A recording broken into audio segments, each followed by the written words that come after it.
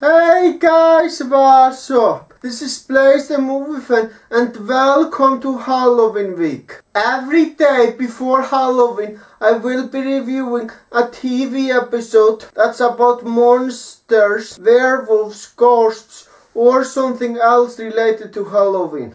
And today's episode review will be on the Pokemon episode, The Tower of Terror. So the episode begins with Ash, Misty and Brock on their way to the Pokemon Tower in Lavender Town. But while on their way there, Ash Ketchum scares the shit out of Misty, Brock and his Pikachu with his Halloween mask. But Misty, Brock and Pikachu are not happy about that at all. In fact, Ash's Pikachu does use Thunderbolt on Ash. And I will admit, I find it very fucking funny how Misty, Brock and Pikachu reacted to that. Meanwhile, in the Pokemon Tower, Jesse, James and Meowth are waiting for Ash and his friends. Now, I'm going to tell you what I think of Ghastly Hunter and Gengar since they are the characters this episode focuses on. I think they are fucking awesome characters. They're ghosts who just want to have fun scaring the shit out of people. And that's exactly what they did. And I like that a lot. Now regarding Jesse, James and Meowth, usually I'm annoyed by those three and don't find them funny in the slightest. But I am glad to say that this is one of the very few episodes where I actually laugh at Jesse, James and Meowth. And I really have the Ghastly to thank for that. So basically James walks into a trap and gets knocked out the moment he reaches the floor. That isn't particularly funny, but what happens after that is what's really fun. So basically the Ghastly appears and disappears under Jesse. The Ghastly also scares the shit out of Meowth. I really found it funny how Meowth was screaming. And the Ghastly also managed to make Meowth use slash on Jesse when it was trying to hit the Ghastly. That was so fucking funny as well. And I also laughed at how Jesse reacted to that. So Jesse knocks Meowth into the floor. But when Jesse looks in her mirror, the ghastly scares the shit out of her as well. So Jesse gets knocked down as well. And I also find it funny later in the episode when Ash orders his Pokemon to attack Jesse, James and Meowth, thinking that those three are ghosts. But anyway, Ash, Misty and Brock finally go into the tower. Now at first it seems spooky. And they aren't really scared the moment they get into the tower. But the comedy doesn't stop there though. What follows is another scene that made me laugh so much. It's when Brock finds candle and wants the Charmander to lit the candle. So the Charmander uses flamethrower on the candle while Brock is holding it. But then Brock screams, Lit the candle, not me. And that makes me laugh so fucking much.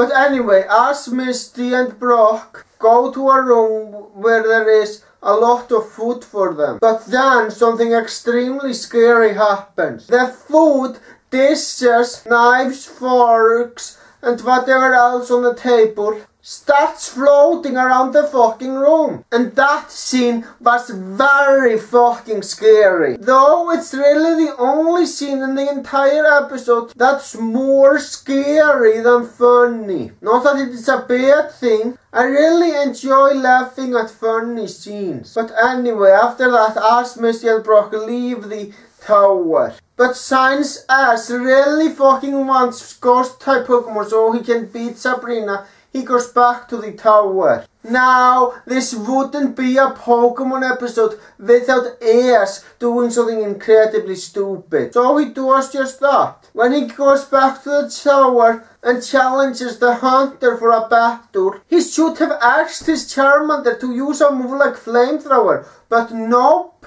Instead of asking his Charmander to use Flamethrower, Ash asks Charmander to use the move Leer. Why would he use a weak ass move like that?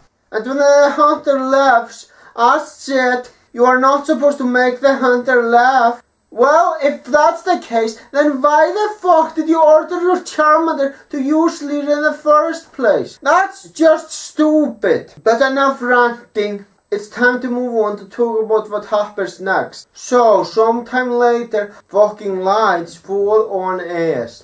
And Ace dies. That's right. He actually fucking dies in this episode. Wow, that's fucking dark. This is something that happens extremely few times in the Pokemon anime. Yes, sure, Arceus' death is only temporarily in this episode, but it doesn't change the fact that it's very fucking dark to see a main character die. So Ash becomes a ghost, and he learns to have fun with Gastly Haunter and Gengar. And then there's another fucking funny scene. Wow, this episode is full of them. Ash lifts Misty and throws her back on the ground. And that scares the shit out of Misty. And I will admit that made me laugh so much. But anyway, Ash really fucking enjoys flying. Gastly Haunter and Gengar show Ash their toy room. Ash realizes that the reason Gastly Haunter and Gengar are causing trouble and scaring the shit out of people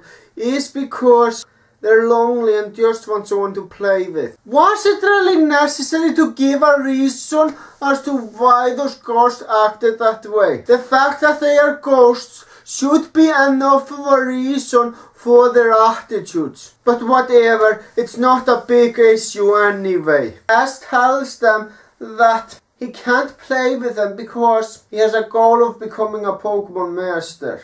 Gastly Haunter and Gengar understand that and somehow manage to make Ash's spirit go back to his body. I don't know how the hell Ash got back to life, but whatever. Anyway, Ash, Misty and Brock then leave the tower for real this time. But Haunter decides that he wants to take along. So Haunter goes with Ash on his journey. And that's where this episode ends. What do I think of this episode? It's fucking awesome! Now despite the fact that the title of this episode is Tower of Terror, it really is more funny than it is scary, which isn't a bad thing.